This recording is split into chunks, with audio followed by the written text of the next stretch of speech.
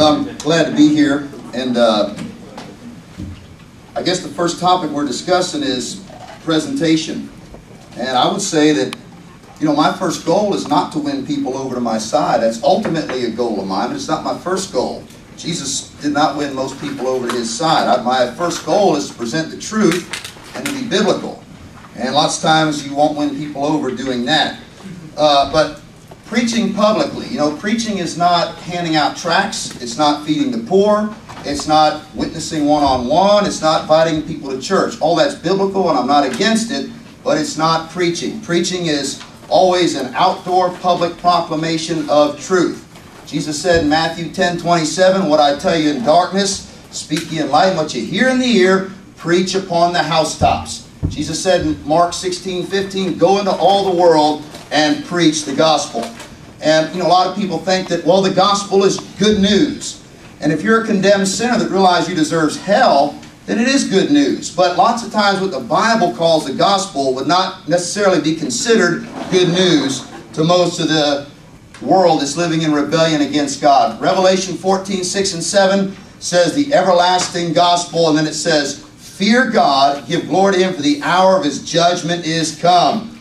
According to the Bible, that's the everlasting gospel. Mark chapter 1, verse 1 through 4 says, The beginning of the gospel of Jesus Christ, the Son of God, as it is written in the prophets, Behold, I send my messenger before thy face, which shall prepare thy way before thee. The voice of one crying in the wilderness, Prepare ye the way of the Lord, make his path straight. Then it says in verse 4, John did baptize in the wilderness and preach the baptism of repentance for the remission of sins. Point I'm trying to make of that passage, Mark 1 1, the beginning of the gospel of Jesus Christ, and it starts out with John the Baptist preaching the message of repentance. The gospel starts out with repentance. Preaching is a outdoor public proclamation of truth, done in a high-handed, heavy-handed, officious, meddlesome manner, offering one's services whether not asked for, wanted, or appreciated. Now there's something about going out and meeting the sinner on his common ground in the public forum and confronting him with the truth about God and his condition before God. Most of the people we're reaching would never voluntarily read a tract or attend a church service. Titus 1.3 says that God has in due times manifested or revealed his word through preaching. 1 Corinthians 1.21 said it pleased God by the foolishness of preaching to save them that believe. Yes, Paul said preaching is going to look foolish to the world, but it's God's method for saving sinners. What are we supposed to be preaching? Luke chapter 24, verse 47, Jesus told us. And lots of times we preach everything but this. And this is not the only thing we're supposed to preach, but it's something that America desperately needs and something that's often neglected. Jesus told his disciples uh, that Luke 24, 47, that repentance and remission of sins should be preached in his name among all nations, beginning at Jerusalem. In America, most people do not preach repentance. They preach remission of sins without preaching repentance. But without repentance, there is no remission of sins. Uh, over and over, everybody in the Bible preached repentance. M Matthew chapter 3, verse 1, uh, verse uh, 3, uh, Matthew chapter 3, verse 1 and 2 said, In those days came John the Baptist preaching in the wilderness of Judea and saying, Repent, for the kingdom of heaven is at hand. Uh, Matthew chapter 4, verse 17, Jesus said, uh, the time is, uh, Jesus said, from that time Jesus began to preach and to say, repent, for the kingdom of heaven is at hand. Luke 13, 3 and 5, Jesus said, except you repent, you will all likewise perish. Mark 1, 15, Jesus said, the time is fulfilled, the kingdom of God is at hand, repent and believe the gospel. We got John the Baptist, we got Jesus, Peter said, Mark, uh, Acts 2.38, repent and be baptized, every one of you, in the name of Jesus Christ, for the remission of sins and you shall receive the gift of the Holy Ghost. Paul preached repentance, Acts 17.30, God now commands all men everywhere to repent because he's appointed a day in which he'll judge the world in righteousness. Uh, the disciples preached that men ought to repent. Acts, Mark 6, 12. So they went out and preached that men should repent. And they cast out many devils and anointed all many that were sick, and they healed them. Uh, now, we're, preaching means lifting up your voice. Uh, Acts chapter 2 verse 14 says on the day of Pentecost, Peter lifted up his voice. Isaiah 58 1 said, Cry loud, spare not, lift up your voice like a trumpet, show my people their transgressions, and the house of Jacob their sins. Uh, number two, we're supposed to preach the word, not only the gospel. There's a lot of things in the word of God that are not the gospel only. Uh, 2 Timothy 4 2 says, Preach the word, the instant in season, out of season. Reprove, rebuke, exhort with all long suffering and doctrine. Uh, we're supposed to preach the law. First Timothy, you know, we live in a society where we think that a sin the Bible calls, that's it? Okay.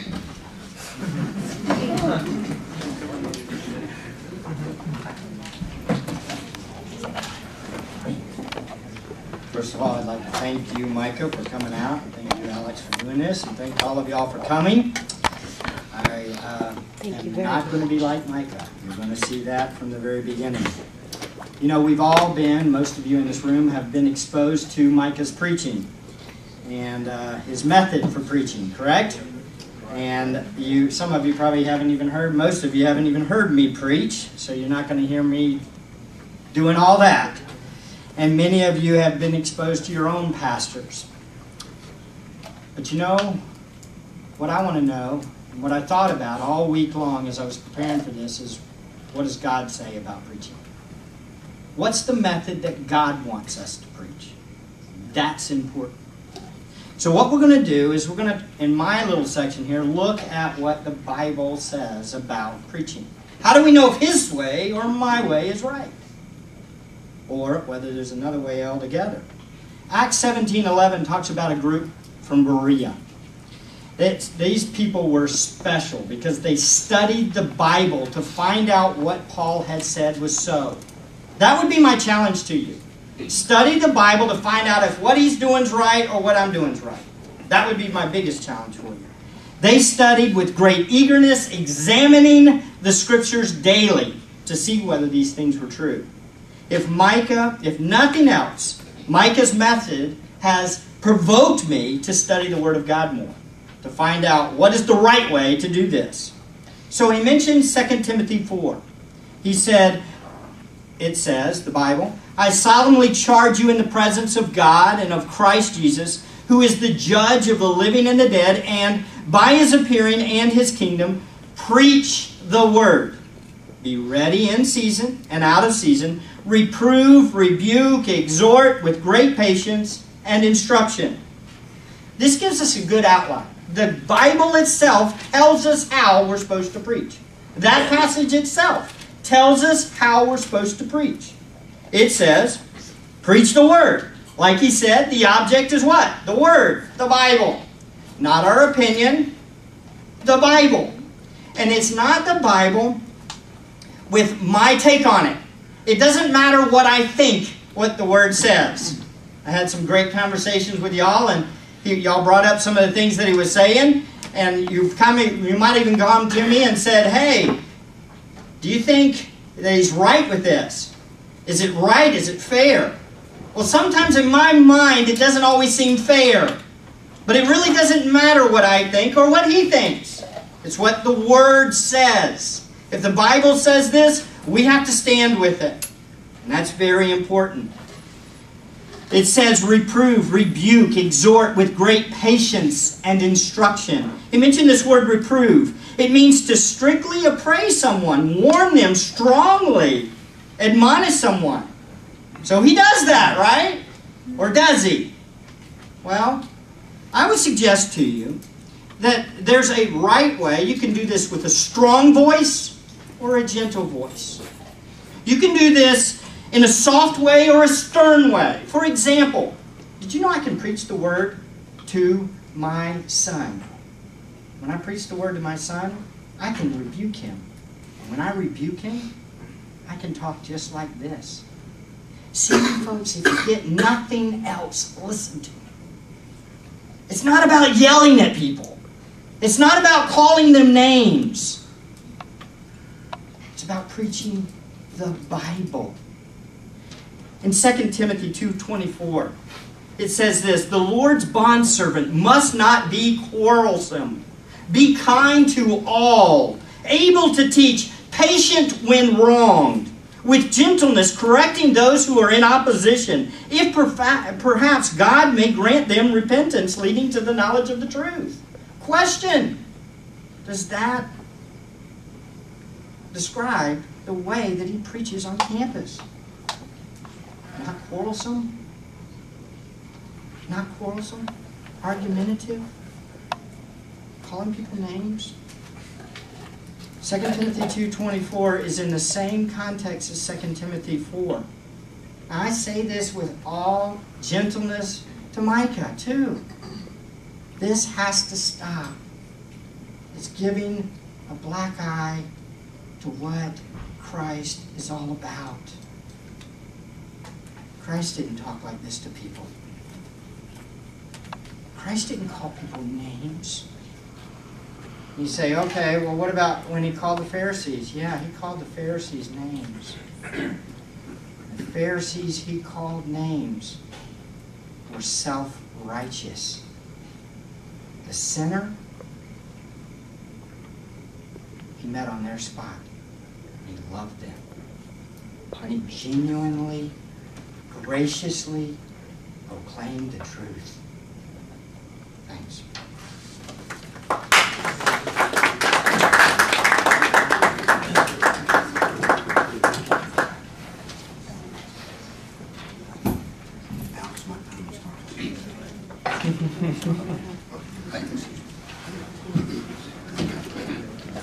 Okay, uh, as I as I clarified, uh, talking to your son one on one is not what the Bible calls preaching. Uh, look it up in Hebrew, Greek, or English. It always means a public proclamation of truth. Matthew 10, 27, what you hear in the ear, preach upon the housetops. Uh, calling names. Uh, Jesus said in Matthew 23, 33, he said, You serpents, you generation of vipers, how can you escape the damnation of hell? Uh, Acts 7.51, Stephen said, You stiff-necked and uncircumcised in heart and ears, you do always resist the Holy Ghost. As your fathers did, so do you. Acts 13.10, Paul. Paul was not preaching to uh, what we would call Jews. He was talking to Simon the sorcerer. He said, O full, o full of all subtlety and mischief, thou enemy of all righteousness, thou child of the devil, wilt thou not cease to pervert the right ways of the Lord? Jesus said in John 8.44, you are of your father the devil. Now, you know, it's not because the people were religious that Jesus was sharp with them. The reason why Jesus was sharp with them was because of their pride. Uh, Israel was very religious. Uh, the Jews were a very religious people. Uh, if you committed adultery in Egypt, you were stoned. Now, in our society, we live in a society where the Bible calls homosexuality an abomination. And a lot of you in this room and most of your fellow students on this campus don't even think it's a sin. You don't even think it's a choice. Uh, but we're not going to show people what sin is unless we preach the law of God. So Jesus called names. John the Baptist called names. He said, You brood of vipers, who has warned you to flee from the wrath to come? He called them a bunch of snakes. Now, I'm going to tell you, when you confront people, he said that uh, these the Pharisees were proud. Psalm 10.4 says, The wicked, through the pride of his countenance, will not seek after God. God is not in all his thoughts. Why doesn't the wicked man seek after God? The Bible said the reason why the wicked man doesn't seek after God is because of his pride.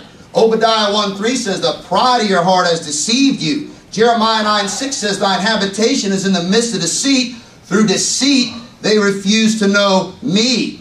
Uh, 2 Thessalonians chapter 2 verse 10 through 12 says, With all deceivableness of unrighteousness, and them that perish, because they receive not the love of the truth, that they might be saved. And for this cause God shall send them strong delusion, that they should believe a lie, that they all might be damned, who believe not the truth, but had pleasure in unrighteousness. So we have, we're living in a society full of arrogant, proud people who think that they are too good to go to hell. They think they are too good for God to send them to hell. And we've got to destroy their pride. Uh, the Bible said in Psalm 36, 1 and 2, The transgression of the wicked says within my heart that there is no fear of God before his eyes. For he flatters himself in his own eyes until his iniquity be found to be hateful. Why does a wicked man flatter himself in his own eyes? The Bible says because he has no fear of God. Why is there no fear of God? Pro- Proverbs 28 14 says, Happy is the man that fears always, but he that hardens his heart shall fall into mischief. The Bible contrasts the fear of God with hardness of heart. Why is our society so arrogant and proud and obstinate toward a holy God? I'll tell you why, because there's no fear of God. You know why there's no fear of God? Uh, because people don't believe that their sin will cause a holy God to send them to hell. You know, you're loving, compassionate, all accepting, all tolerant, Jesus said Matthew 10 28, Fear not them which kill the body, but are not able to kill the soul, but rather fear him who, after he's killed body and soul, has the power to cast into hell. Uh, the fear of God starts with realizing that your sin will cause a holy God to send you to hell. Proverbs 8:13 says the fear of the Lord is to hate evil. Men will never depart from sin until they hate sin. And they'll never hate sin until they fear God. And they'll never fear God until they realize that a holy God will send them to hell for their sinning. Proverbs 16, 6 says, By mercy and truth iniquity is purged, and by the fear of the Lord men depart from evil. Proverbs 14, 7 says, the, the, the, fear of the Lord is a fountain of life to depart from the snares of death. Revelation 3.19, Jesus said, As many as I love, I rebuke and chasten. Be zealous therefore and repent. The Bible said that God shows his love for hell-bound sinners that are going to hell by rebuking them in their sin and urging them to repent. Proverbs 27, 5 says, Open rebuke is better than secret love.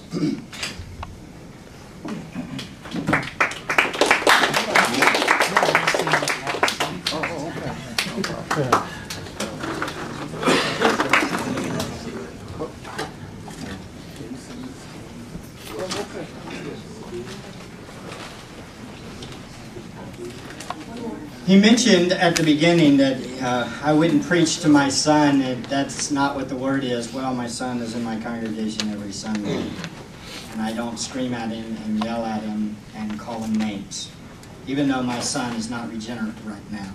He has not believed in Christ yet. All three of my sons I haven't trusted in him yet. Uh, Lord willing, they will soon, but I don't yell at my sons from the pulpit either and call them liars cheats, stealers, things like that. There's a place for me to talk to them and gently call them to repentance. He mentioned also that Pharisees were uh, actually the problem was pride. Well, isn't that very much like self righteousness, or isn't that the same thing? And the self righteous, the ones that were called snakes and vipers and all those things, are ultimately what? The Pharisees. Who were the Pharisees? The Pharisees were the ones that walked around and said, Hey, I'm clean. I'm perfect. I've got it all figured out. I'm better than you. It wasn't the woman at the well. Remember the story of the woman at the well? Read John chapter 4. Write that down in your notes. Read it. How did he approach her? Very gently, very kindly. Now, I am not saying don't speak about sin. Give me a break. If you preach the word, you're going to talk about sin. I'm convicted even in my study for this, just to get ready for this message. As I was thinking on these passages of being compassionate like Jesus and proclaiming the truth with gentleness, and the way that Paul calls us constantly to be this way, and God's Word does, I was convicted. So, look, folks, the self righteous he called names. Prideful, yes. But the homosexual, look, I'm going to tell you, I had a great conversation with a young man after Micah blasted homosexuals the other day. He came up to me and says, What's the Greek say about this word homosexual? And I showed him. And I said, Man, I know. This ain't easy to hear. I want to tell you, you can be delivered. You can have hope. You can have peace with God. And he looked at me when I finished talking to him about the truth of what the scripture says. And he said, Thank you. It's the first time somebody said that that's how I am, but God can deliver me and give me hope. Ladies and gentlemen, we do talk about truth. We do call them the truth. And what does the Bible say? We do it in a compassionate and gracious way. Jesus does have stern rebukes and mention. Listen to this one. Matthew 23 12. Whoever exalts himself shall be humbled, and whoever humbles himself shall be exalted. But woe to you, scribes and Pharisees, hypocrites, because you shut off the kingdom of heaven for people. For you do not enter in yourselves, nor do you allow those who enter to go in. What's he saying? He's saying literally, you walk around and make it impossible to get into heaven. Because your self righteousness, you think you're all this. says, Woe to you. And he does call him that way. Does anybody see any irony here in this whole thing? Am I the only one? Hopefully, you see the irony in this. The self righteous, one who calls himself perfect, is telling us what? We're going to hell.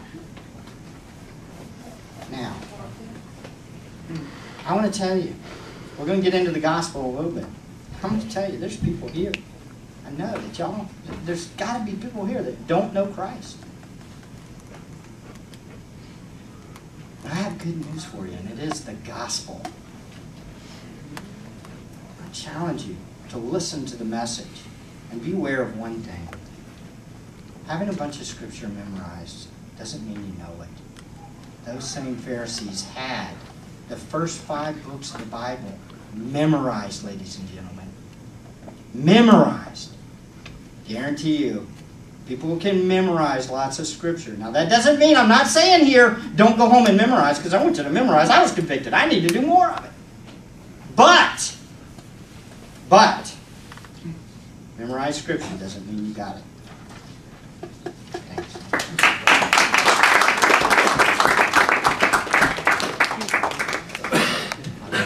Now, this is going to be weird, because you got to ask questions.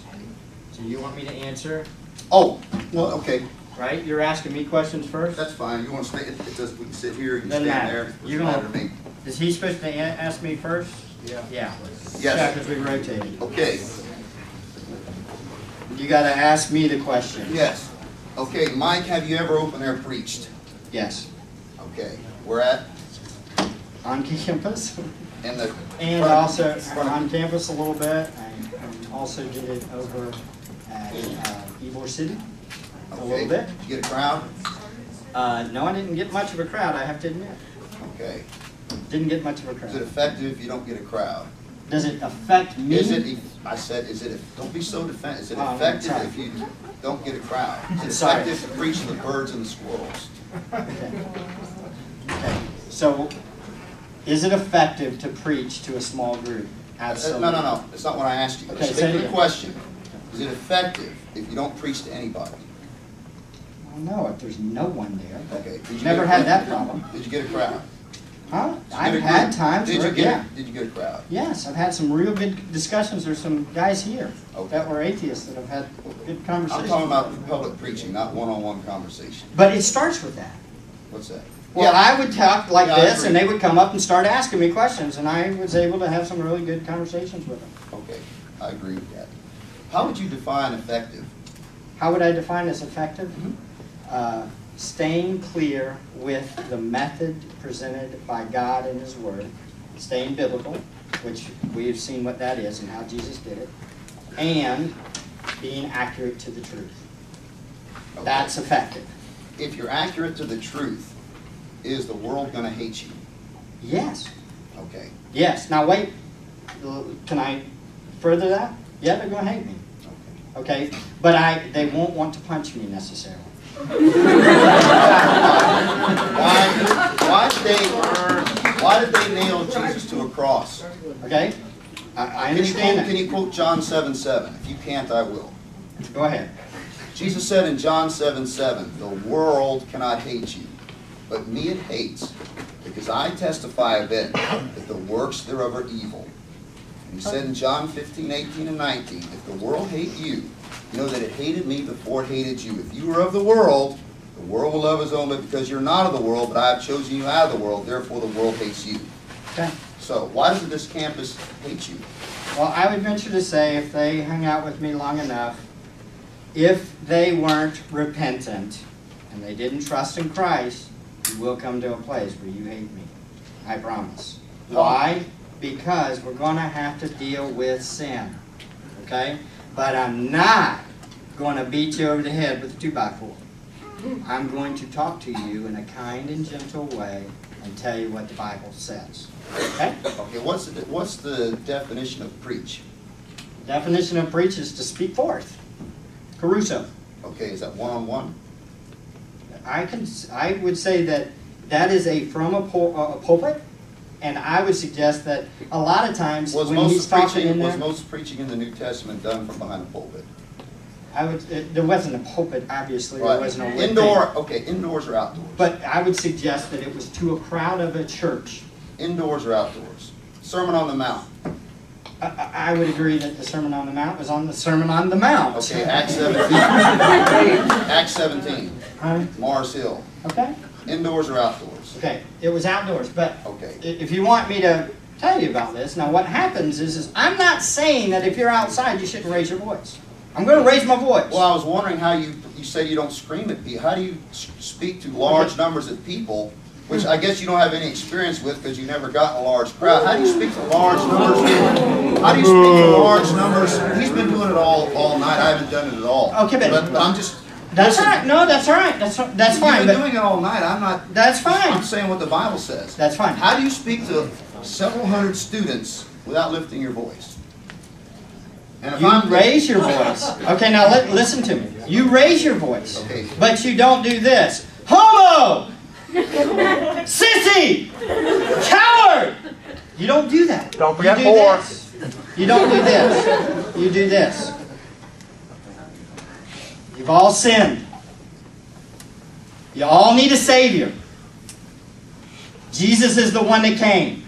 You must repent and believe. Now that was very short, but that gets the gist. I think, it- is this time up? 15 seconds. Make it the last statement. It's you. You. Last statement. 15 seconds. No, I'm, I'm nothing.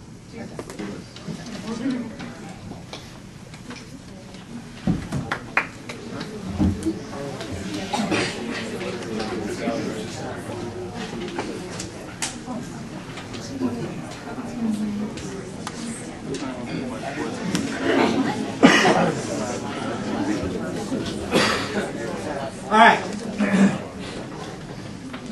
I, I- I want you to know, um, Mike, before I ask, I start my question, um, I do not have any ill feelings as I'm saying these things. I absolutely, passionately, from the bottom of my heart, love you. To get up and say that after you're making all these personal attacks doesn't care a whole lot. But go ahead. I, that's fine. I'm not, I'm used to it. That's fine.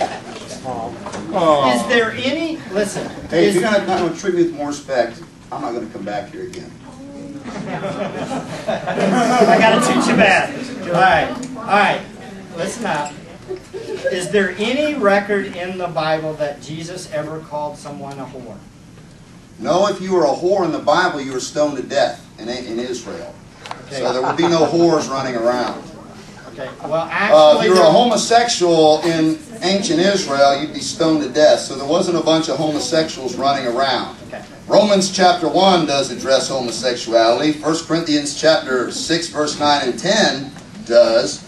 Uh, Ephesians, thir- uh, Ephesians 5 5 says, For this you know that, listen, he asked me a question. Here, here we go.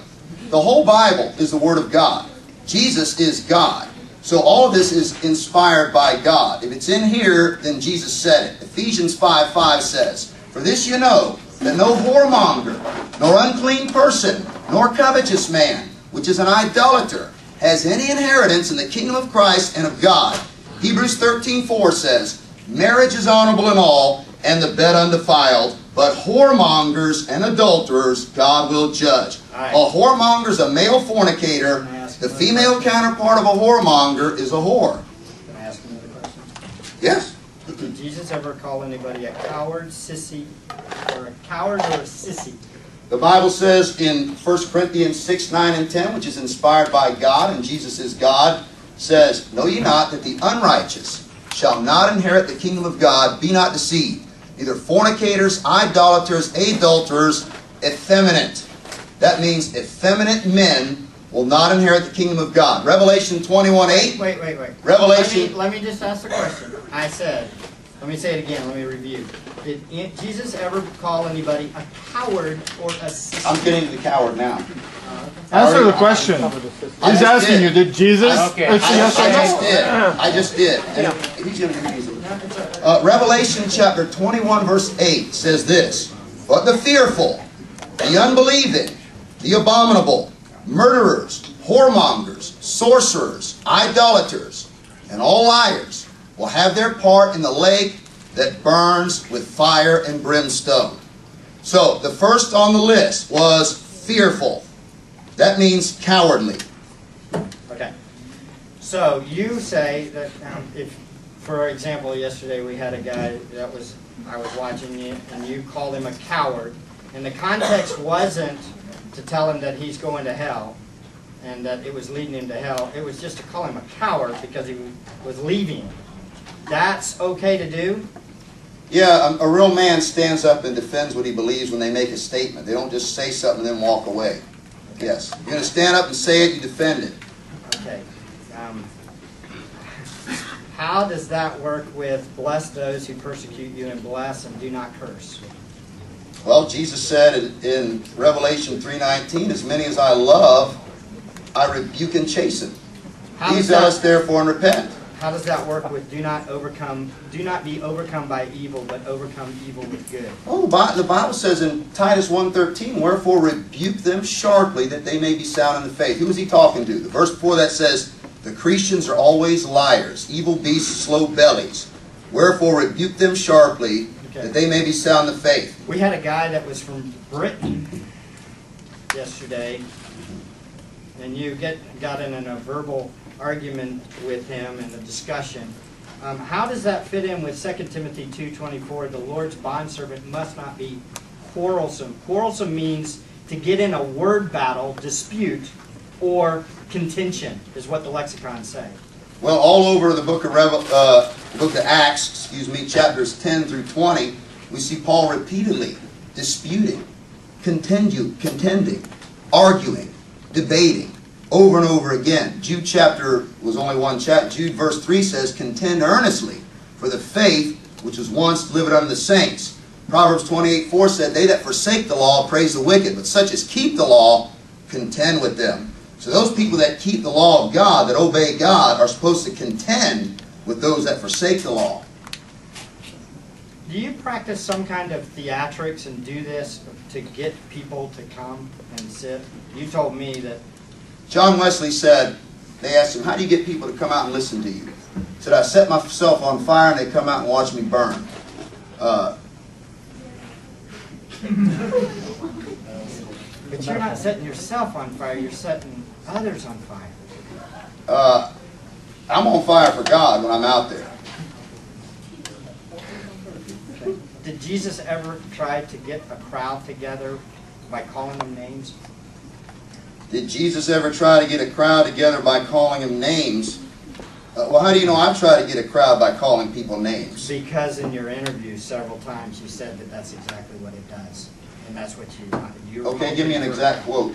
Exact quote is from your interview with the University of Alabama newspaper where you said. Oh, uh, listen, listen. You cannot trust a school newspaper. It's on YouTube. It's on YouTube. Uh, with Alabama? Yeah, the guy at Alabama. I watched the interview. It's it's with the thing. No, not Alabama. I was never interviewed at Alabama on YouTube. Maybe it's, it's Ole Miss. It's an Ole Miss. Ne- e- e- needless to say, let's go on. How are we doing on time? Does your mo- did now here's they the do all topper. the, well, that doesn't go along with what Jesus said. Hold on, let's keep going on our format. does does your method provoke people to laugh and cheer at their own sin? Yes. The Bible says in 1 Corinthians 1.21, it pleased God by the foolishness of preaching to save them that believe. Yes, the Bible says over and over again that preaching is going to look foolish to the world. but it's God's method for saving souls. So if we believe in a holy God, which we do because the Bible says he's holy and just, You're what do we do with Isaiah 6 when Isaiah saw the Lord in his holiness and knew about his people being defrauded with sin, and he goes, Woe is me! You're laughing and creating laughter on the campus about sin. Bible- ga- you have the opposite going for what you Proverbs says fool. Proverbs says fools make a mock at sin. And you don't confront them on their sin. You don't confront what's in their heart and expose in their heart. That's why you don't get the response. Yesterday, you know how out of touch you are? Yesterday, you asked a group of students, and you said, Let me ask you a question. Do you guys think that the earth, the world is getting better, better, or worse and worse? And everybody in the group with a straight face looked at him and said, Oh, the world's getting better and better all the time. And you were shocked. You know why, Mike? Because you're out of touch. You don't know what's in these students' hearts. Thank you. All right, so now we got to switch. You want to go ahead? Now we're going to uh, introduce the second topic. I will ask that we try and keep audience interaction to a minimum. Um, and uh, now we're going to talk about how one attains salvation. And it's going to be the same format as the last topic. Thanks. I, I start this time, right? So I just keep going.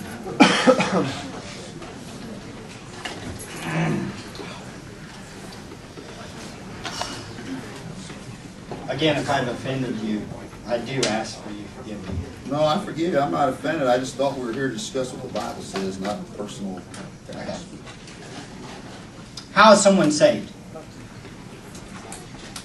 The term saved needs to be defined. What is that? That's short for salvation. It means to be delivered from a horrible circumstance.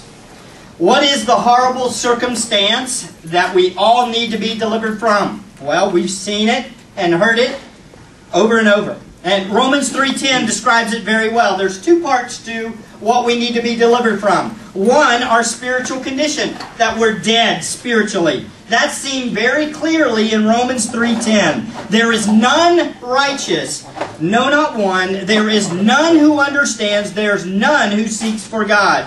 All have turned aside, together they have become useless. There is none who does good, there is not even one. This describes, ladies and gentlemen, the condition of the human soul apart from God's intervention. Second, we know that mankind is under the judgment of God. Isaiah 6, as mentioned, describes God as holy, holy, holy. His justice therefore demands that he that sin be paid for. That every sin must be paid for. Romans 1:18 says this, the wrath of God is revealed from heaven against a little bit of ungodliness. No. All ungodliness and unrighteousness of men who suppress the truth and unrighteousness. This is a horrible circumstance, isn't it? This is where we are. This is the message. Listen closely that he's been teaching. He's taught a lot of this, but he hadn't given the gospel. See, we are dead in our sins. We all know it. I was watching one of the videos. It was amazing. This one young black gentleman said, I'm a sinner. I know that. So give us some hope. So I'm going to give you some hope. Do you understand, y'all, ladies and gentlemen? All of you understand that you're a sinner? That you need Jesus? That you're going to face a just God one day? That's why God, in His graciousness, sent His Son. And His Son lived a perfect life. Never sinned, sinned once. Not one time. Not even a bad thought. He was perfect. And He's the only perfect man that's ever walked this earth. And He was 100% God and 100% man. And guess what? The amazing thing is, is that He died on a cross. And this is where the foolishness comes for many of you. Maybe think this is foolish. He died on a cross? Yes! He died on a cross. Why? It's very clear. Romans says it. He died. He made him who knew no sin to be sin on our behalf so that we might become the righteousness of God. Now, what's that mean? It means this that God Himself took the Son and made Him sin. What does that mean? He laid all of the sin of me, the wicked, wretched sinner, on the Son and judged the Son for my sin to appease or satisfy the wrath that I deserve. That's the message you need to hear. Your sin killed Jesus. That's the message you need to hear. Now, how are you going to respond to that? How are you going to respond to it? Oh, well, it's just another religious. No. Well, again, we go back to what we know to be true, and that is that is God's word, and that's where it came from. So, folks, what's it call us to do? It calls us to repent and believe in that gospel. Romans 1.16 says, For I am not ashamed, Paul said, of the gospel, for the gospel is the power of God to deliver us from this bad circumstance, save us for everyone who believes. What does believe mean? Yes, believe includes a total commitment to Christ. A heart change. Forsaking your sin and trusting in Christ alone. That's the message that you've got to embrace. And that's the gospel. Jesus died, rose from the dead, and lives, and you can live too. Greatest joy in all the world is knowing Christ, the one who died for me.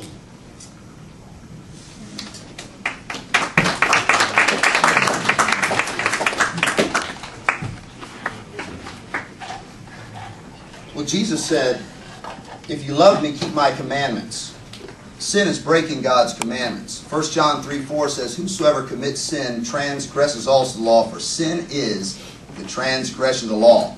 So if you're sinning, you don't love Jesus Christ. Mike talked about knowing Jesus Christ. 1 John 2 3 and 4 says, Hereby we do know that we know God if we keep his commandments. He that says he knows God and keeps not God's commandments is a liar, and the truth is not in him. Now, what is salvation? Matthew chapter 1, verse 21 says, Thou shalt call his name Jesus, for he shall save his people from their sins. Jesus did not die to save you in your sin. He died to save you from your sin, from your sinning. When you save a drowning man from drowning, you get him out of the water. He's not still in the water. If he's still in the water, then he's not saved from the water. You save a man from a fire, you don't leave him in the fire. You get him out of the fire. If he's still in the fire, he's not saved. And if you're saved from sinning, uh, you're not still sinning. If you're still sinning, you're not saved. Acts chapter 3 verse 26 says, Unto you first, God, having raised up his son Jesus, sent him to bless you in turning away every one of you from his iniquities. Galatians 1 4 said he gave himself for our sins that he might deliver us from this present evil world according to the will of God and our Father. Uh, if you're not delivered from the power of sin, you're not going to be forgiven for the penalty of sin. James chapter 2 verse 10 says, Whosoever shall keep the whole law, yet offend in one point, he's guilty of all. If you're breaking God's law in one area, you might as well be breaking the whole thing. Jesus said in John 3, You must be born again. He said, Unless a man's born again, he cannot enter the kingdom of God. You want to know if you're born again or not? 1 John 3 9 says, Whosoever's born of God does not commit sin. 1 John 5 18 says, Whosoever's born of God sinneth not. Jesus said in John 8 11, Go and sin no more. 1 John 3 6 says, Whosoever abideth in him sinneth not. 2 Timothy 2.19 says, Let everyone that names the name of Christ depart from iniquity. 1 Corinthians 15.34 says, Awake to righteousness and sin not. 1 John chapter 3 verse 8 says, He that committeth sin is of the devil. If you're committing sin, you're not saved. You're not born again. Jesus said in John 8.34, Whosoever commits sin is the servant of sin. If you're committing sin, you're not a servant of Jesus Christ, you're a servant of sin. Jesus said in Matthew 6 24, No man can serve two masters. Either hate the one and love the other. He said, If you love me, keep my commandments. Romans 6 16 says, Know ye not that to whom ye yield yourselves servants to obey, his servants ye are to whom ye obey, whether of sin unto death or of obedience unto righteousness. So you can either yield yourself to sin or you can yield yourself to righteousness. But students, you are serving the one you yield to and the one you obey. Uh, Jesus said Mark 1.15, Repent and believe the gospel. Repentance is not apologizing, saying you're sorry or feeling bad. Repentance is forsaking all known sin. In order for you to turn to Jesus Christ, you must turn away from your sin. In order for me to turn to the back wall, I must turn away from you. In order for me to turn to you, I must turn away from the back wall. In order for you to turn to Jesus Christ, you must turn away from your sin. Acts 20, 21, Paul said, testifying both to the Jews and also to the Greeks, repentance toward God and faith toward our Lord Jesus Christ. Jesus never said to come as you are. Jesus said, except you repent, you will all likewise perish. If you don't turn from all your sin and turn to Jesus Christ, you will end up in hell. Jesus said, if you love me, keep my commandments. John 15, 10, Jesus said, if you keep my commandments, you shall abide in my love. Uh, nobody's abiding in the love of Jesus Christ if they're not keeping the commandments of God. That's it? 30 seconds. 30 seconds. 1 John 5 3 says, This is the love of God, that we keep His commandments. Do you love God? Are you keeping His commandments or are you sinning?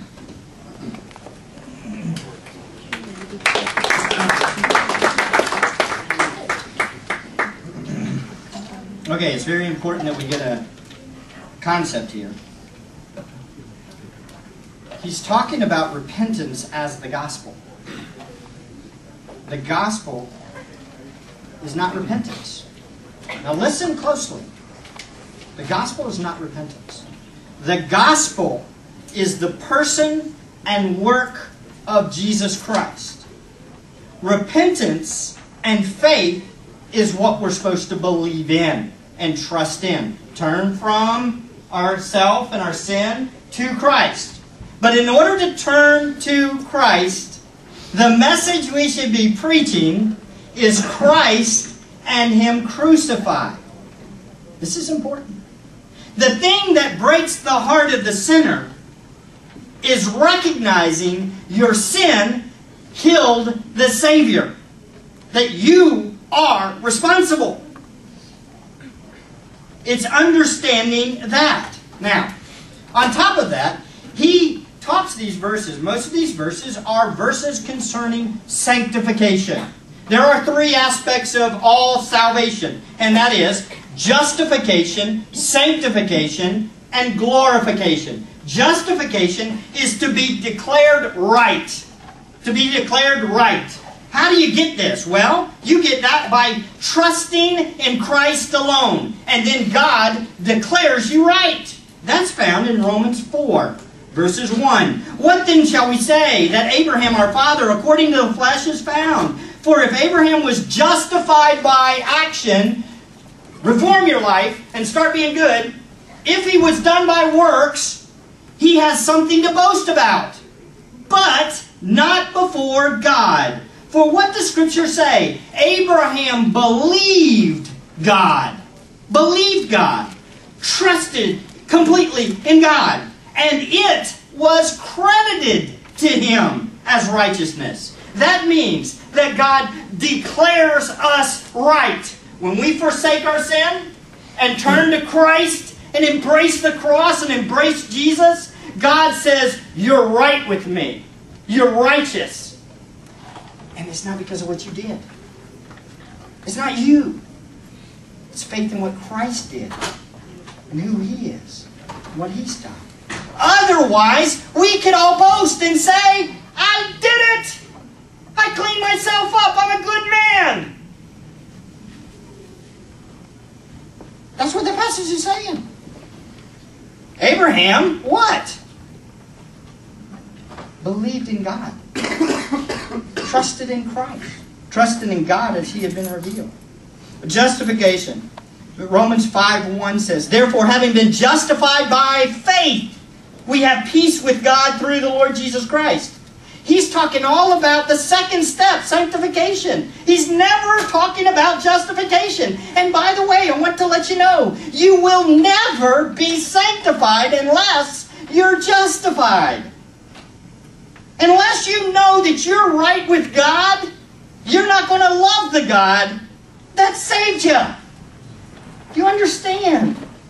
You've got to be right with God first, and then you want to obey Him. And He will deliver you from your sin, as we know from Romans 6, 7, and 8. It's all through it, and he can quote all these verses from that. Read your Bible tonight. Can't get through them all. But folks, it's direction, not perfection. Now listen, it's direction, not perfection. How do we know this? We know this from Romans. Romans 7 says, I find then the principle that evil is present in me, the one who wants to do good. That's Paul talking in Romans 7, which is in the middle of the sanctification section of Romans. Romans is the gospel. It's the part about now God, after turning and trusting in Christ, now God's setting me apart. But I'm battling my mortal body, my old man. I'm putting it to death constantly, as he says in Romans 8. Otherwise, by the way, if we're completely free from sin, why is there any commandments in the New Testament? Why tell us to stop doing something if we wouldn't do it? Obviously. Confess your sins one to another, right? What does that mean? Confess your sins. Sanctification. All right.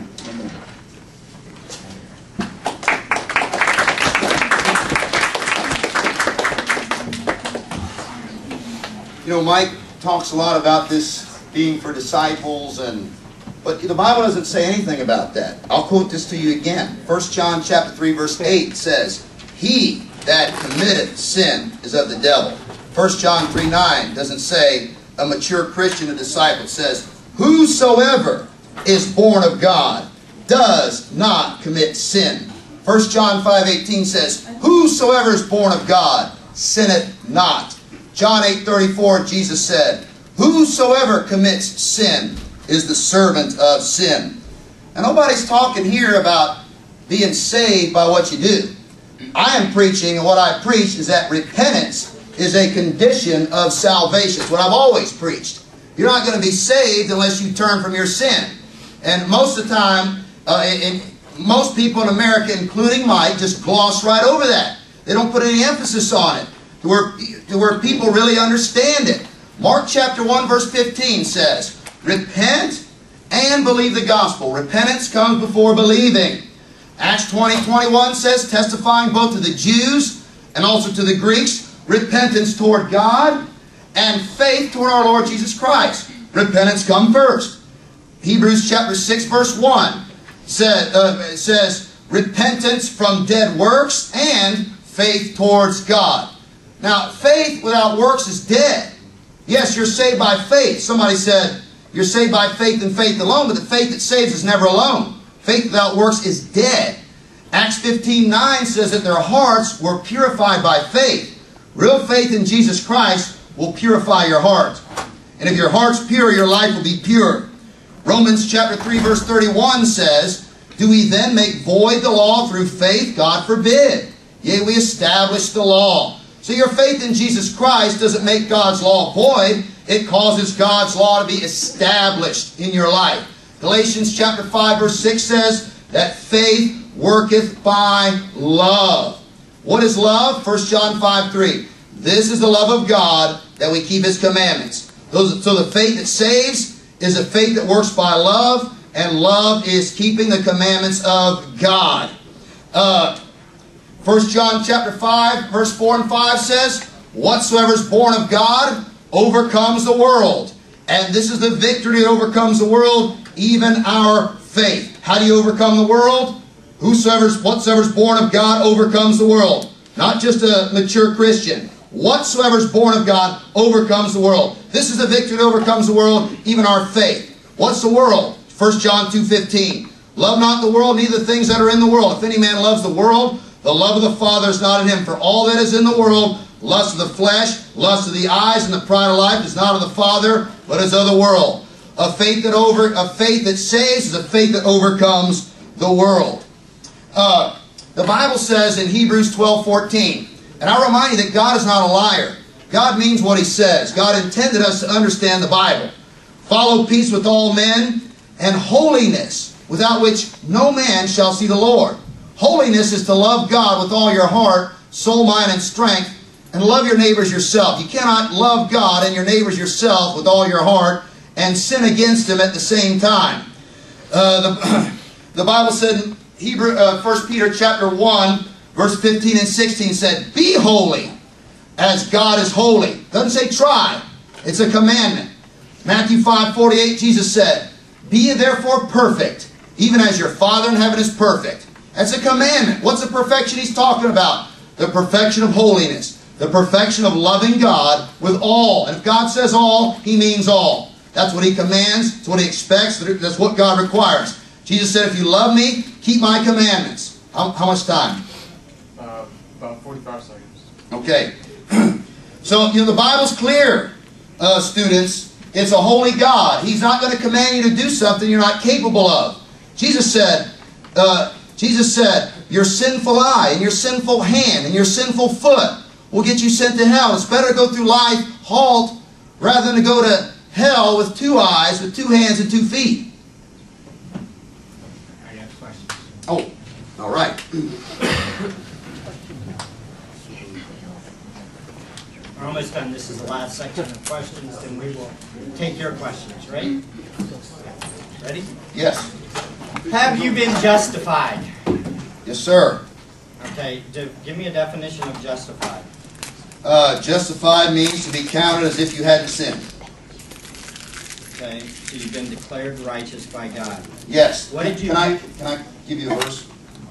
Okay, Romans chapter 3, verse 25 says, Whom God has set forth to be a propitiation through faith in his blood to declare his righteousness for the remission of sins that are past through the forbearance of God. I'm only made righteous based on my past sins that I've repented of. Yes, God made a provision for it, but I'm not made righteous if I'm sinning presently.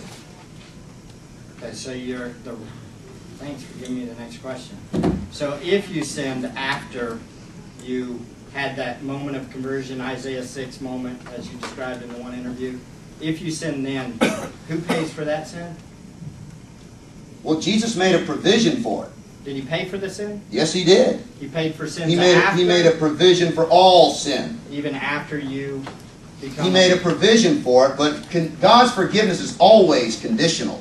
Jesus, Proverbs twenty eight thirteen says, He that covers his sin shall not prosper, but whoso confesses and forsakes them shall have mercy. You want God to have mercy on you? You must not only confess your sins, you must forsake your sins. 1 John chapter 1, verse 7, Jesus, uh, 1 John 1, 7 says, If we walk in the light, as he is in the light, we have fellowship one with another, and the blood of Jesus Christ, his Son, cleanses us. From all sin. So in order to have the blood of Jesus cleanse you from all your sin, you've got to walk in the light. You've got to walk in obedience. If you're not walking in the light, if you're not walking in obedience, then the blood of Jesus does not cleanse you of your sin. Okay, so back to the question. What, what did you have to do to justify yourself? Well, in order to in order to accept the provision of Jesus Christ, I had to meet the conditions. There are conditions to salvation, one of which is repentance, as I've already made clear. Okay, so your repentance is what ultimately you had to do in order to get God to pay for your sin. No, Jesus paid for all of our sin. So, Well, is so everybody going to heaven? uh, is everybody saved? No, I didn't ask that. Are we Well, if, if Jesus paid for all of our sins, we don't have to do anything. We don't have to accept it. We don't have to meet the conditions. Then, according to what you're saying, is we all automatically got a free ticket to heaven. Okay, so when you started cleaning your life up, when you turned and started obeying, that's when you were. Repentance is not a process. Okay. It's not What a process. What is it? Uh, I thought I made it clear. It's a change of heart, change of mind, change Did of you change lifestyle. your heart? It's a Wait, change wait, of your ultimate me- intention. Did you change your own heart? I yielded to the Spirit of God. I had a part in it under the influence. Yes. At Romans chapter, so glad you asked. Romans chapter 6, verse 17 says, Though you were the, uh, said, Romans chapter 6, verse 17 says, Though you were the servants of sin, you have, you have obeyed from the heart that form of doctrine which was delivered you. So you- yes. so you yes, you must yield. You can resist the Holy Ghost. That's why Acts 7.51 says, You stiff-necked and uncircumcised in heart and ears, you do always resist the Holy Ghost as your fathers did, so do ye. So I got verses like, Grieve not the Spirit, quench not the Spirit. Yes, we can resist. We've got to yield. So can you lose your right standing with God? Absolutely. James chapter 5, verse 19 and 20. Never had a Calvinist be able to answer this. James chapter 5, verse 9, maybe you'll be the first. You didn't answer it the other day. James chapter 5, verse 19 and 20 it says, Brethren, if any of you do err from the faith, and one convert him, let him know that he which converts the sinner from the error of his way shall save a soul from death and shall hide a multitude of sins. Number one, he's writing to who? Brethren, not sinners. Brethren, if any of you do err from the truth. To err means to turn away from, to fall away from. You can't turn away or fall away from something that you were never a part of. Who's the truth? Jesus said, I'm the way, the truth, and the life. No man comes to the Father but by me. Can you depart from God? Yes, you can, because just like he said, we wouldn't be warned not to sin unless it was possible for us to sin. And God wouldn't warn us not to depart from God if it was... Uh, I don't believe in this constitutional regeneration that you believe in. I didn't say constitutional regeneration. I just said, do you believe in regeneration? Yeah, regeneration is when you turn from living your life for yourself to turn to living your life to love God with all your heart, soul, mind, and strength, and love your neighbors yourself. That's what regeneration is.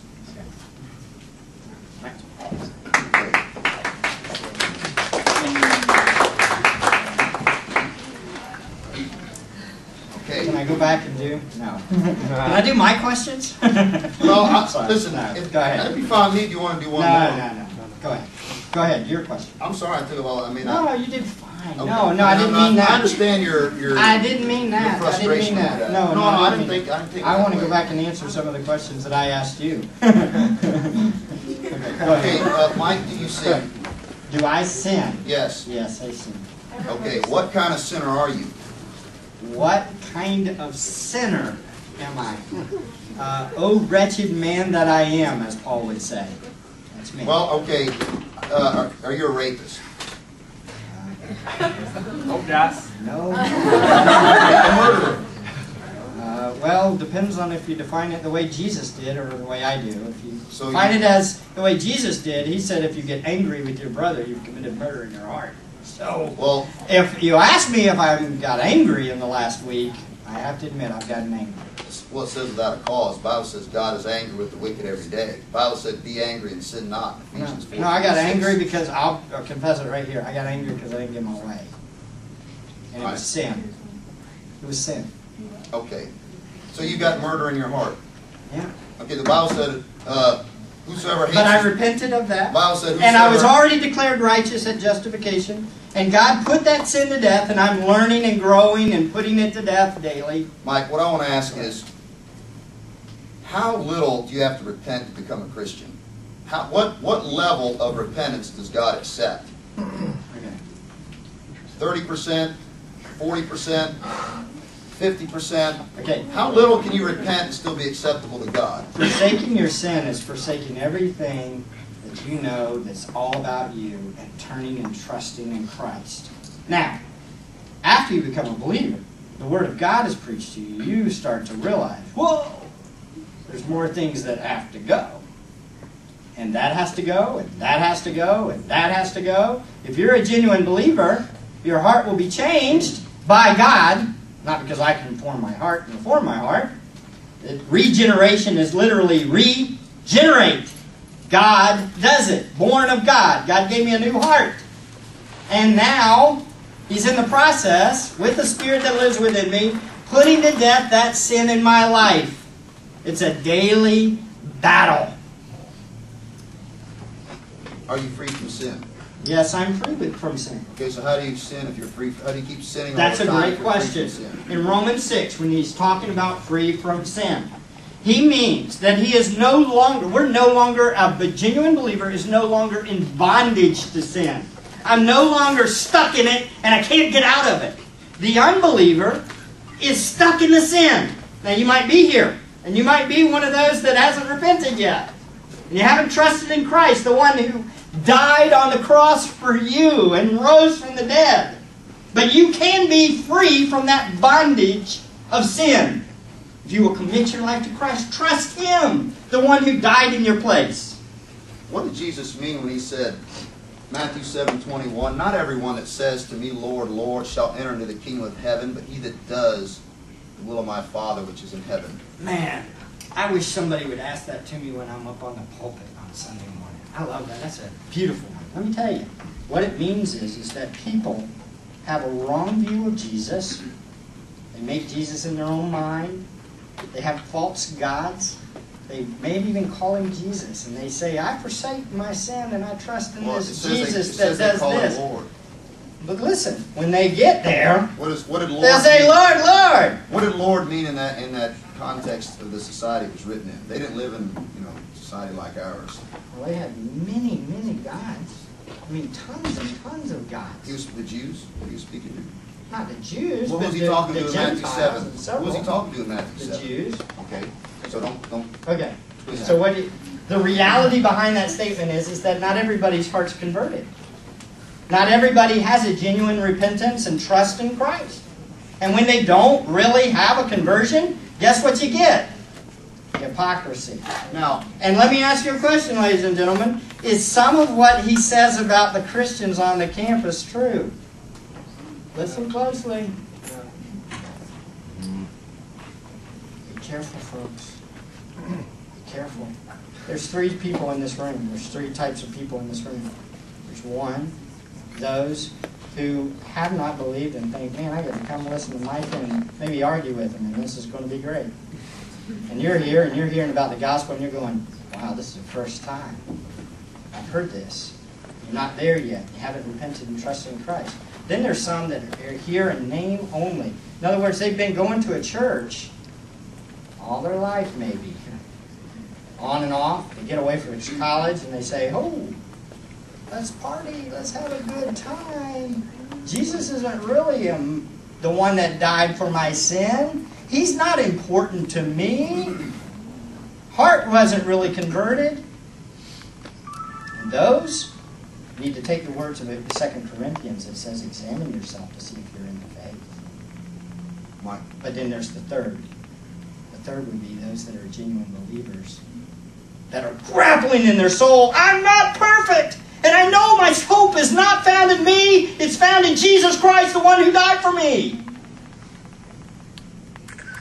It's not in what I do, it's what He did. For you, I say study your Bible and talk against it kindly, gently. And I would uh, suggest to you don't argue with him when he's out there preaching. Go up to him afterwards. He'll have a good talk with you. We have great talks. One more question. But, if you want. but go around and talk to the people while he's preaching to them and give them the hope of the gospel. you know, this this whole idea of you're saying that you, it's impossible to resist the Holy Ghost. So why does the Bible say we can do that? Why does the Bible say in Acts 2.40, save yourselves from this untoward generation? Why does Stephen say what he said? You stiff-necked and uncircumcised in heart and ears, you always resist the Holy Ghost. As your fathers did, so do you. What about Romans 6.17? That, I mean, I never get any answers for these scriptures that I'm bringing up. Uh, but th- but uh, thanks be to God, though you were the servants of sin, but you have obeyed. You have obeyed from the heart that form of doctrine which was delivered. Is repentance something God does for you? Or is repentance something you do? Okay. Ultimately, the question is, is that all, uh, God works in our heart, and we do it then. We literally choose to forsake and trust That's the same thing I'm saying. No, you're saying something different. Okay. You're saying that you do it. You reform your heart, and you do all these things, and you use the words do. I did this to be justified. How am I justified? How am I declared righteous? By trusting in what Christ did, not what I do. Who's trusting in Christ? Who's trusting in Christ? Yeah, who's exercising the faith? Everybody that's a genuine believer. Okay, okay. And I would agree, sanctification, you should live out your faith. Look, I'm not saying that sanctification doesn't happen. I'm just telling you that up that without justification, without justification being declared right, you aren't going to be sanctified. You ain't gonna, you ain't gonna change your life. Sanctification means holiness, and without holiness, no man will see the Lord. Okay. Great, great. Thank you, thank you for this. I appreciate you. Let's give him a hand.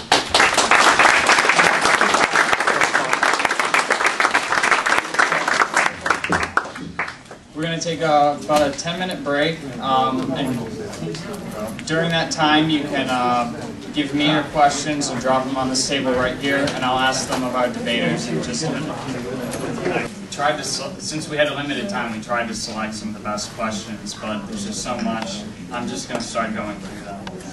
So, uh, the first one to Brother Micah. Uh, I've been to many of your sessions, and you are always talking about religion. I'm interested to hear more about you. What is your backward? I won't be able to answer that one. Just answer a little bit. Just briefly then. Yeah, briefly. Background and upbringing, uh, hobbies, interests. Well, I grew up, I grew up mainly in Miami in a non-religious home. Uh, I was a power lifter. Uh, I, I benched over 400 before I graduated high school, played ball. I wasn't a Christian or anything. I competed in powerlifting for a while, then I got, uh, well, I can't say I got saved, thought I got saved. And uh, went to college, started, I taught school a while before I started doing this. And my hobby is reading. Uh, I don't really have a whole lot of hobbies because I think time is so valuable. Uh, I enjoy spending time with my wife. I enjoy praying, reading the Bible, and reading Christian books and seeking. But I, I mostly just read the Bible. This is a question for both of you. What is your opinion on the state, state of Israel in regards to Christ's return and Old Testament prophecy? That is, how does Old Testament prophecy in Israel relate to what is happening today? Yes. Um, I'll give you a first stab. Uh, we don't know. Here's the deal. God has plans for Israel based on Genesis 3 or uh, Genesis 15 and all the promises he made to Abraham. But we don't know whether it's coming soon that he's going to reestablish Israel and the tribulation is going to happen and the wrath of God's going to be poured out on the world. We don't know. Uh, Israel could be coming together for that, or they could be completely disbanded and come back a thousand years from now and be reunited and God could bring it about. But I believe that God does have a plan for Israel based on the promises that he made to Abraham. Yeah, I agree with that. I, I'm not. A, I'm not. Uh, I don't believe the church has replaced Israel. I believe God has a plan for Israel, and I believe it. We are going to see all the world come against Israel because the Bible talks about that. So, Jesus said, Whosoever believeth in me shall not perish, but have everlasting life. Micah, what is your response to this? well, whosoever believes, you know, belief is not mental assent. You know, like we've said tonight, belief is trust and faith. And I thought I covered pretty well what real faith is. Faith purifies the heart, works by love, establishes the law, and overcomes the world. You know, Jesus said Matthew 7 21, Not everyone that says to me, Lord, Lord, shall enter into the kingdom of heaven, but he that does the will of my Father which is in heaven. So, you know, just because somebody believes that Jesus is Lord uh, and calls him Lord doesn't mean they're going to heaven. Uh, if he's your Lord, you obey him and you do what he says. And if you don't do what he says and you don't obey him, then you're not going to heaven. Hebrews 5 9 says that Jesus is the author of eternal salvation unto all them that obey him. Read the verse again. Can I give a shout on it? Yeah. Whosoever believeth in me shall not perish, but have everlasting life. The key term in there is me. And it's not me. It's Christ. The object of your complete trust and commitment must be Christ. And that verse talks about the glory of Christ, and by trusting in Him, you can have eternal life. Genuine trust does evidence itself by works, but it's about Christ. It's not about me. I'd like to comment. Yeah. You know, I, I think lots of times people get a misunderstanding, and people talk so much about the gift uh, but- of everlasting life. And I'm not saying that you're saying this, but Jesus, Jesus is the gift. You know, 1 John 5 12, he that has the Son has life. He that has not the Son of God has not life. Jesus said, I'm the way, the truth, and the life. No man comes to the Father but by me. So, in John 17 3 says, This is life eternal, that they might know thee, the only true God, and Jesus Christ, whom thou hast sent. So, eternal life is knowing Jesus Christ. Uh, Jesus is the gift. You depart from Jesus, then you don't have the gift. Uh, I believe this is a question directed towards Mike. If you can sin and go to heaven, how do you get to hell?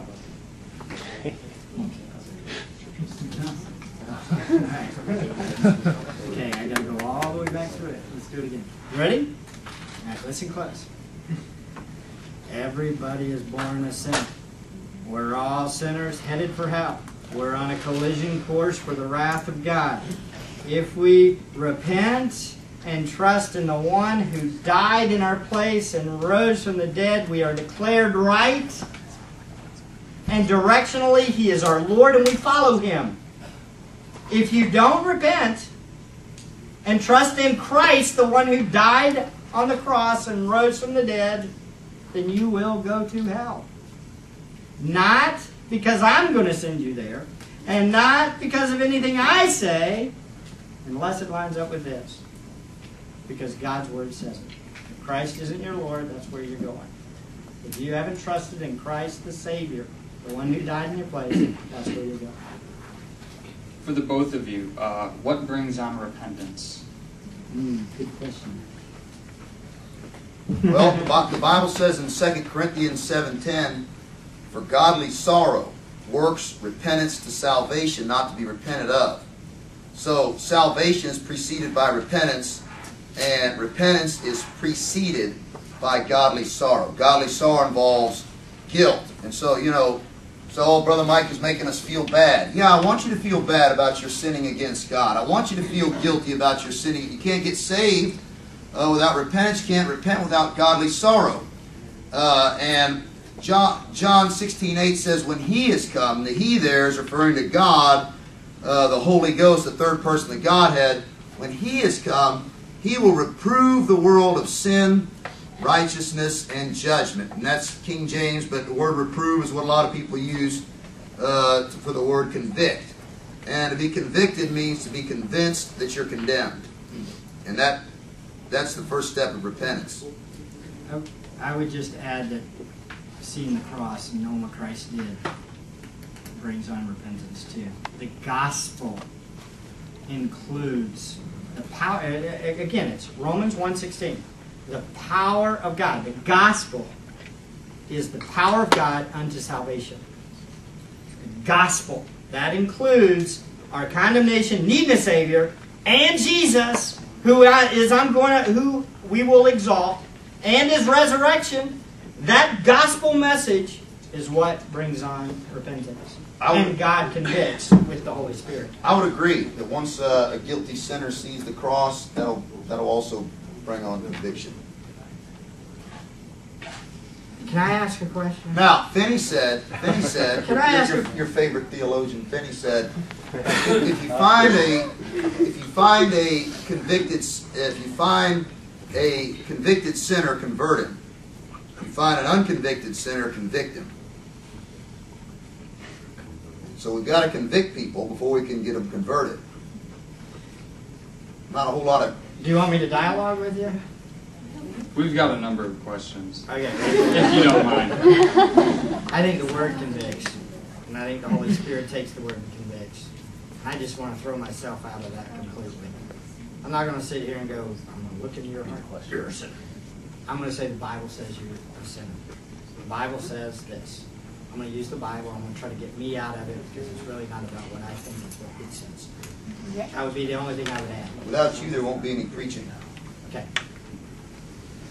Uh, to the both of you again. In general, how do people approach you at, uh, at the end of your preaching sessions? Well, it varies. Uh, lot- Some days at the end of the preaching session, you have real good conversations.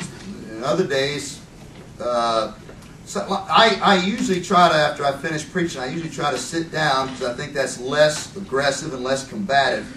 Uh, and sometimes that'll work on settling the crowd down, uh, but sometimes it doesn't. But I found that the more I preach on a campus, the more the students get to know me, the more they get used to the preaching, uh, the more civil they become.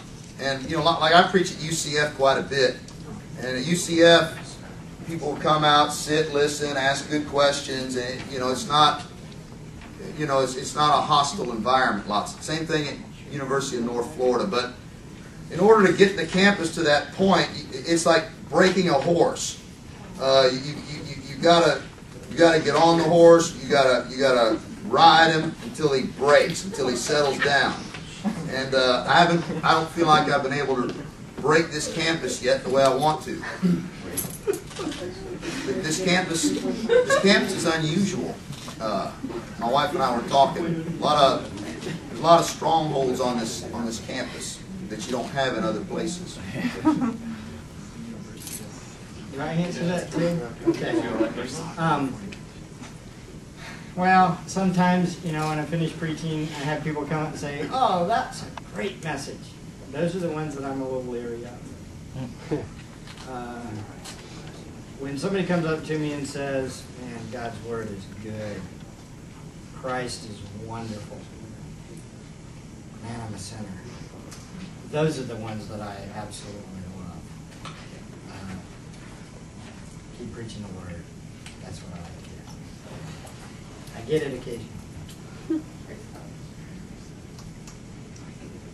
To the both of you again, when was the last time, or how often are you moved to tears during your preaching over the lost in the crowd? Well, I'll go first. I would suggest today we need to be careful of using emotion to try to persuade people. And so, as a pastor and as a preacher, I think it's very important that I be careful of letting my tears show. Um, now, if you want to know if I've cried over a sinner, I did yesterday. But I don't think that it's the place when I'm preaching the word to just use emotion because it can be a powerful thing. So, Can I clarify, because I asked that question? I didn't mean emotion, I meant tears. tears as in God, you have a godly sorrow over. Oh, it. yeah. I Well, didn't mean emotion. honestly, that's why I'm here. The sorrow drove me here. That's why we're doing this. Jo- uh, Whitefield said, if, if they can't see your tears, let them hear your tears. That's what, what you're saying. Uh, my wife can cry on a dime. My wife cries about every time she testifies, and uh, she's real emotional. Uh, I'm not real emotional, and I don't think that. I think that love is not necessarily an emotion. Which, you know, I I wish uh, that I that I'd weep more for the lost. But now, the Bible said in 1 John 3.18, Little children, let us not love in word or tongue, but in deed and truth. And so, you know, you can love in word and tongue, but not, not love in deed and truth. Love is an action. And, uh, but I, I do pray fervently uh, for the lost all the time. That's why I, that's why I gave up everything I had. I mean, this is not a financially rewarding uh, career that I'm in here. You know, I mean, I, I owned a house. I was a I was a school teacher. I was uh, stable. You know, I had comfort and security and all that, and I gave all that up. And uh, but but you know, that's at the same time though that that shouldn't be an excuse. I don't think that I don't think that uh, men of God today pray like they used to. You know, I, I think that, and I think that's why they had more results. Uh, sometimes after repenting of sins to God, I still feel bad or guilty. What may solve this? This is a question for the both of you. Well, obviously the question would be is, if you really repent, the end of repentance is peace with God. There's joy. There's joy at the cross, ladies and gentlemen. The Person that asked that, I would suggest to you, you need to know the cross again, even after being a believer. See, look, when I sin and I grieve, there's hope. Find it. And by His grace, I put that to death and I don't do it again. So I would suggest you gotta be careful. If you have godly sorrow or say it's repenting just because you're feeling bad, it's not really godly sorrow. It's not from God. It would be something like you're just kind of, oh, I feel bad I did this. I don't want the consequences. You gotta realize that Christ was killed for that sin. You know, I heard somebody say once that they point out the fact that before Jesus went to the cross, he went to Gethsemane. And I think sometimes we got to be careful about going to the cross too soon without going through Gethsemane. Uh, because the, the, the grief and the sorrow and the anguish that you feel for sinning against God, uh, lots of times that'll work as a preventative to keep you from going in that direction again. And to further clarify what Mike said, 1 John chapter 3, verse 20 and 21 said, For if our heart condemn us, God is greater than our heart knows all things. Beloved, if our heart condemn us not, then have we confidence toward God. Whatsoever we ask, we receive of him because we keep his commandments and do those things that are pleasing in his sight. So if your heart's condemning you, uh, then like Mike it's a good chance you haven't repented. You might just feel bad. There's a, I didn't quote the whole verse, but the Bible said in 2 Corinthians 7.10, Godly sorrow works repentance to salvation, not to be repented of, but the sorrow of the world worketh death. There is a sorrow that's not a godly sorrow, and it works death. It's a selfish, you know, uh, sorrow because you got caught, sorrow because you feel bad, sorrow because uh, you believe it's going to send you to hell, sorrow because uh, uh, you wasted time and money and, and all that. And I mean, all that's a part of it, but it's still selfish. So, you know, the, the Bible says, therefore, being justified by faith, we have peace with God through our Lord Jesus Christ. And so, if we don't have peace with God, uh, if our hearts, there's no peace there, if our heart's condemning us, we don't have confidence toward God, we've got to ask ourselves, are we right with God? The Bible says in Hebrews 12, 17 that Esau found no place of repentance, though he sought it carefully with tears. Now, Esau tried to repent, find, get right with God, and he couldn't do it.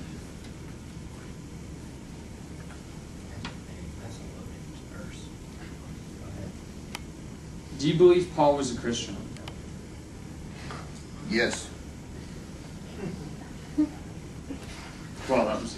This is a Romans 7 Not much, not much debate there. Well, I think what they're saying is they're talking about Paul, Romans 7, and we, this take a long time, but see, I believe, I'll quote, a first off, we- we would diff, he believes that Paul was writing about his post-conversion experience, and I believe Paul was writing about his pre-conversion experience. Paul said in Romans 7, 7, I had not known sin but by the law. I had not known lust except the law had said, thou shalt not covet. Now, Paul's a mature Christian. He didn't know what sin was. Of course he did. Paul wrote 1 Thessalonians, and I'll, I'll stop after this verse. 1 Thess- 1 Thessalonians chapter 2, verse 10. Paul said, You are witnesses, and God also, how holy, justly, and unblameably we behaved ourselves among you that believe. So Paul said that God as his witness, his behavior, his lifestyle, his actions, his deeds before God was holy, just, and unblameable. So Paul wasn't running around sinning every day in word, thought, and deed. Paul said in Romans 7, Wretched man that I am, who will set me free from the body of this death? Thanks be to God through Jesus Christ our Lord. Okay, now if we stop there, he would have a really good argument for it being before. But there's a lot more, and this says it. Yeah, Romans 8. So then, no. Romans 7.25, B, second half of B. So then, on the one hand, I myself with my mind am serving the law of God, but on the other, with my flesh, the law of sin. Which implies That it- Now, see, now he jumps back. No, I Thanks never be jumped to back. I God. never jumped back. Well, then thanks be to God through Jesus Christ our Lord. Wait, Conversion. that's conversion. So Uh, you gotta, he's there. He, Okay. he wouldn't know that Jesus Christ All- is his Lord if he wasn't converted. all through, yeah, he says, thanks be to God, Jesus delivered me from this body of death. He's talking about the struggle uh, of somebody that's convicted of their sin. Paul grew up as a Jew under Jewish law. The whole purpose of Romans 7 is to show you that you can't get saved by keeping the law. Well, we could argue this one until the end of the, the millennium. Well, if you if you take Romans 7, uh, it, Paul contradicts everything he said in Romans 6 and Romans 8 if you take that view. Just remember that. Okay. Pastor Mike disagrees. Go ahead. There's more to the question, Huh? to the previous question. What, what is it? Do you think that sanctification is a process or does it immediately come with justification? Both. Yeah. Huh? Both. Wait a second, you can't answer that way. Of course I can. No, no, no, wait, wait, wait, wait. Of course I can. We are set apart by God. There is two aspects of sanctification. That is, when we become a believer, we are sanctified, set apart by God. But there's a second aspect of sanctification, which is the process, which means that you are putting to death sin in your life. But if you say that you're perfect and you don't sin anymore, then you've already been sanctified. So that's not a process. Okay. Can I? Good. Can I answer? Okay? Okay. When you're when you're born again, when you're saved, you're you're sanctified. Okay, you have to turn from all sin. Now I can have three people working for me. Okay, they've all got different levels of experience, different levels of ability. Uh, I don't expect the same performance out of all three of them, but I expect the same commitment. The same commitment. Uh, the commitment's the same for any believer, no matter how long, whether you've been saved one day or 50 years, to love God with all your heart, soul, mind, and strength, and love your neighbors yourself.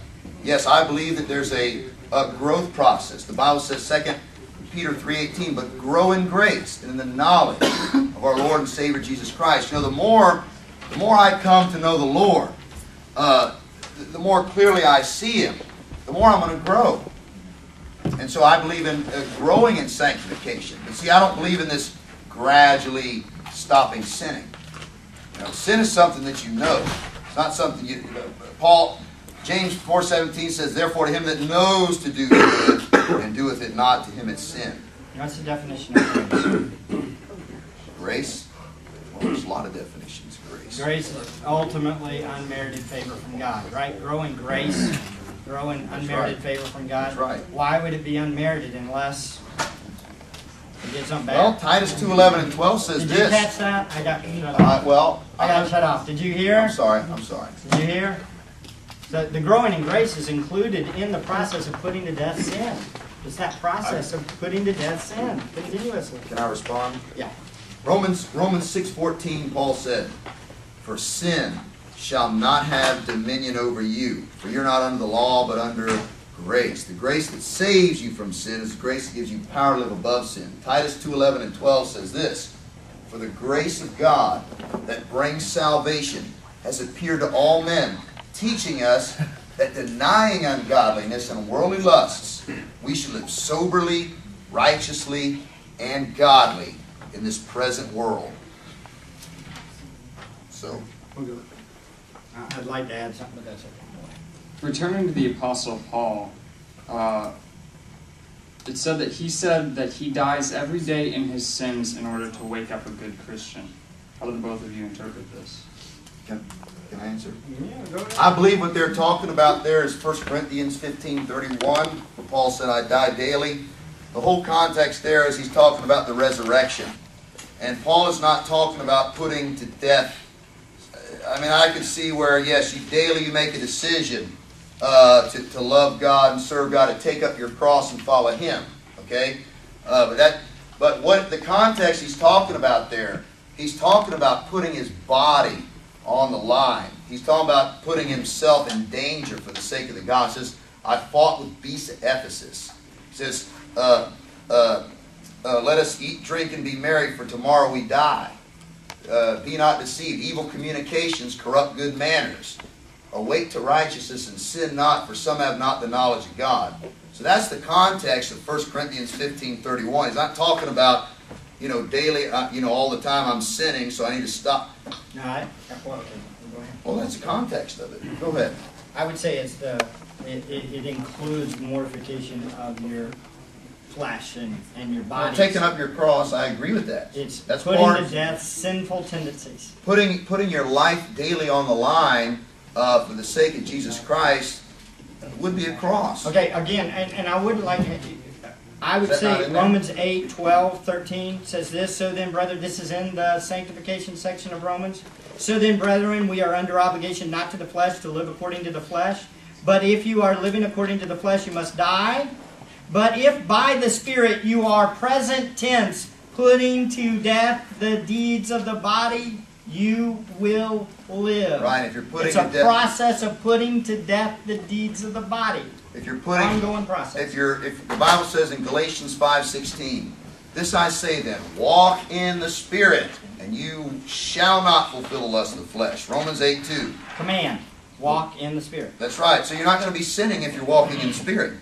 Romans eight four, that the righteousness of the law might be fulfilled in us who walk not after the flesh, but after the Spirit. Okay. And I apologize, but we're out of time.